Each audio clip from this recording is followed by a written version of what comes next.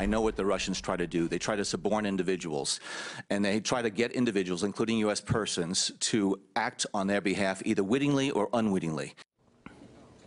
That's former CIA Director John Brennan this week before the House Intelligence Committee. Joining us now, John McLaughlin, a 32-year veteran of the CIA, and was the acting CIA director. He's also an MSNBC national security analyst.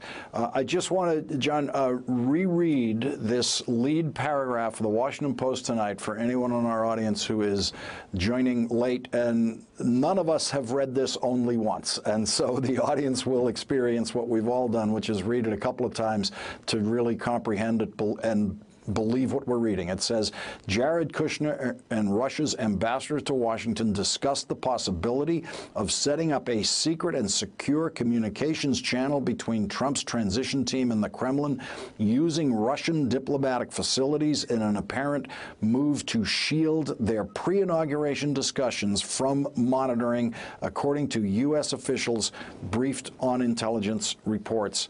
And uh, John McLaughlin, uh, uh, you worked in the CIA. You come across, uh, say, an intercepted Russian communication, which seems to be the source of this.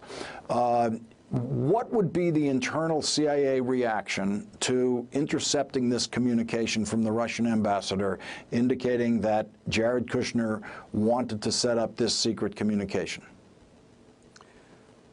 Well, well Lawrence, if, if that's what it was, uh, the first reaction would be is this a prank?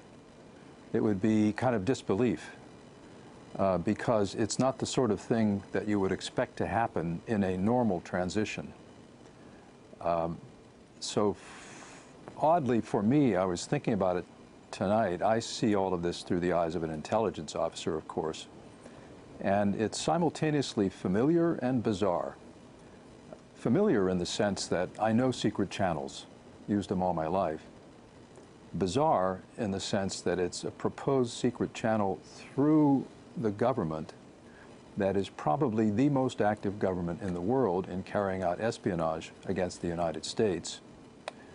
And at a time, recall the timing here too, it's on October 3, about two months before this, that the intelligence community, the Director of National Intelligence in combination with the Secretary of Homeland Security puts out a report with high confidence saying that the Russians hacked our election.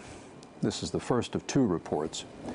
So in that context, if you were to get this at the CIA, having read that and having known that, um, your first reaction would be is could this be true and then you would discover it is true and move on from there um, I don't want to overstate because obviously, there's a lot we don't know. We don't know the exact content of the conversation. We don't know the uh, objective that was stated uh, from the uh, Kushner side during the conversation.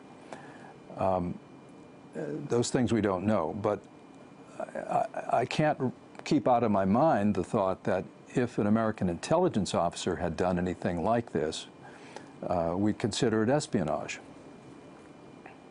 Yeah, uh, uh, would it, would it be fair to say that that a conversation like that, even if it wasn't, even if the plan wasn't executed, uh, gives the Russians this the feeling that they own Jared Kushner, they own a person yeah. from that point forward who would make a suggestion like this. I think, uh, you know, we're, we're all struggling to understand. I think to some degree, a couple of thoughts here. I think to some degree, um, the Trump administration at these senior levels is, is being consumed by its own hubris.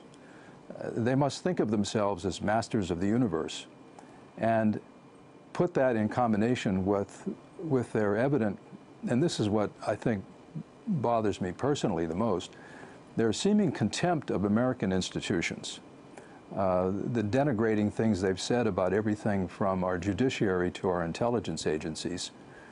These institutions, including, in fact, the intelligence agencies, uh, because they are closely supervised in the United States, these are the functions of our democracy. And I can't help thinking that in the background of all of this is that sophomoric idea we used to hear about, about deconstructing the administrative state that somehow we shouldn't use these institutions. We should use the ones we trust more, the Russians. That doesn't make any sense to me. And um, so, you know, there's a lot we don't know here, and it, it really does underline again the need for someone as independent as they can be to take all of this and get to the bottom of it, uh, and pretty quickly. John McLaughlin, thank you very much for joining us on this important night. Thank you. Really appreciate it. Thank you, Lawrence. Hey there, I'm Chris Hayes from MSNBC. Thanks for watching MSNBC on YouTube. If you want to keep up to date with the videos we're putting out, you can click subscribe just below me or click over on this list to see lots of other great videos.